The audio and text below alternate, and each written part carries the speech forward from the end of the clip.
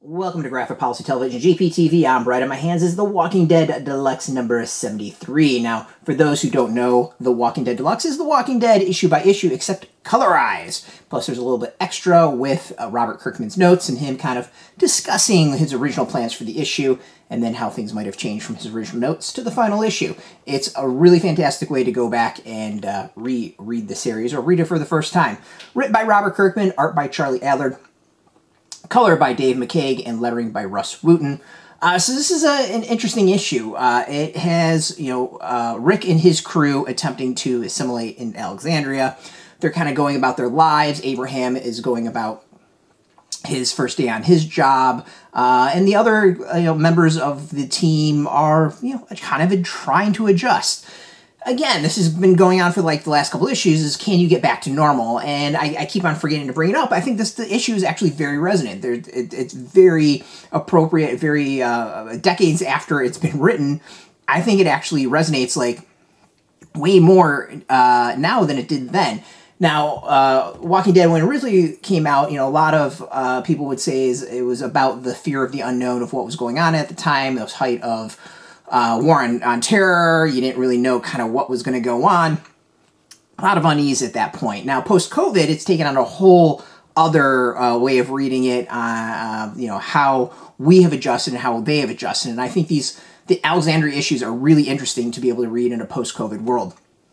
You've got uh, the Alexandrians who act like nothing happened, uh, that there was no, there's been like no major issues, that the threat is over, everything is la di da. Go back, you know, there was maybe some rough points that they don't want to talk about, but all good. And then you've got Rick and the rest of his crew, which uh, who are much more grounded and uh, stuck in reality, who realize that the threat's still there. And I think that is uh, very much where we stand as a society. There is so many who want to pretend like the last four years hasn't been a thing, and then many others who uh, uh, realize that there's still a persistent threat going on and that, you know, we need to come to reality and face facts that everything's not hunky-dory.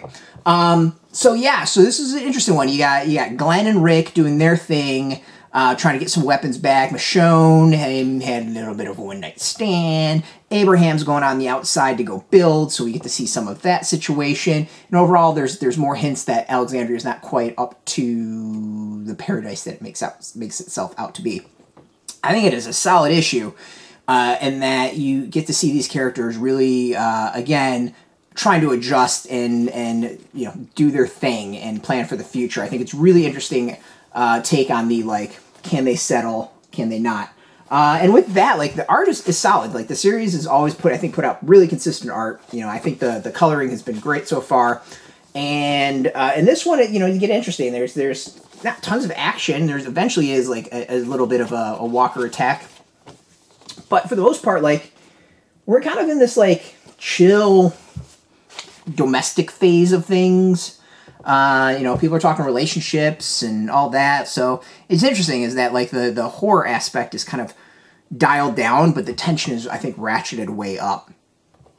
Um, the notes I think are always interesting to see how things change, and of course there's all the the letters in the back as well, new and old which are pretty entertaining. Um, so yeah, as, as always, I think it's a really cool way to go back and reread the series. For those who have never read it before, it's a great way to read the series uh, and just entertaining like that. Like I, I, recommend it. I think it's fun and and solid stuff. So you can go get it. It is out in comic shops. We got a link beneath this video. Put your zip code. Tell the comic shop is near you. No shop, no problem. We do have some links where you can purchase your own. There'll be affiliate links, so you do get a small percentage. And by doing that, you'll support our site. So thank you for that. Just watch your video, support us. So thank you as well. If you're into comics, check us out every single day at graphicpolicy.com. We're on Twitter, Facebook, YouTube, Tumblr, Instagram, TikTok, Mastodon, Threads, Blue Sky, all at Graphic Policy, keeping it nice and consistent.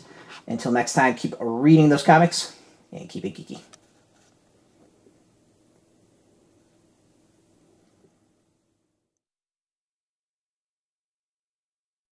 Hey, thanks for watching the previous video from Graphic Policy Television. Just by watching, you help support our site. Thank you so much. Now, if you're watching these videos, you probably care about geeky things like movies, television, comic books, toys, games, video games, you name it. You can go and subscribe right now to our YouTube channel to stay in touch and catch all the new videos, or check out our website at graphicpolicy.com. There's a nice link on this end of the video. But as always, thank you for watching. Keep on rocking and keep it